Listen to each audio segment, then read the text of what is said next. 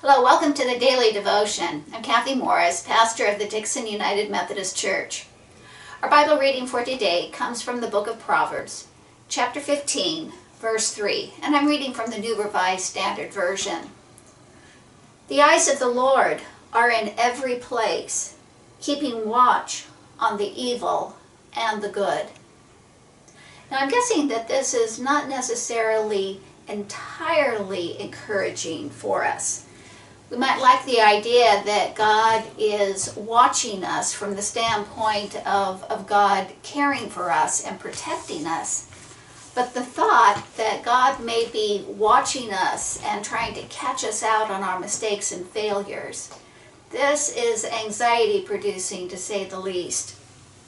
Now, even if we can remember that God is seeing the good we do, still we find ourselves focusing on the failure. Clement of Alexandria was one of the very important leaders of the, the second century, so those very early centuries of, of the Christian church. In one of his writings, Clement also asserts that God is everywhere. But for Clement, this is cause for celebration. All our life is like a day of celebration, a day of celebration for us.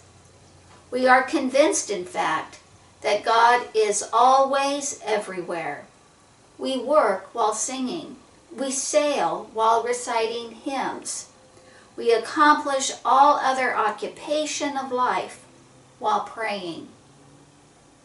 Now it seems to me that what Clement helps us to see is that because God is everywhere, because God is present in all of our lives and our activities, God is actually empowering us to live well. God is empowering us to live the good that God desires.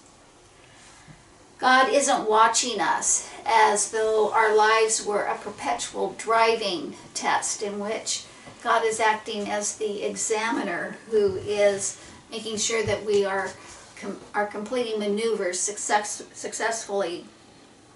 God is everywhere so that God can help us succeed. Succeed in, in living our lives well. Succeed in fulfilling our calling in Christ. God's presence is cause for celebration. For a prayer exercise, what I'd like to suggest that you do is to pick one of your daily activities. It might be something like making your bed or putting dishes in the dishwasher or your gardening.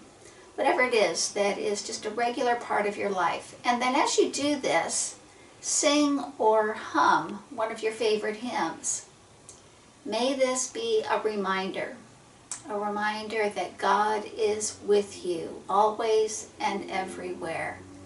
That God is with you always and everywhere and working to help you succeed and to live life well.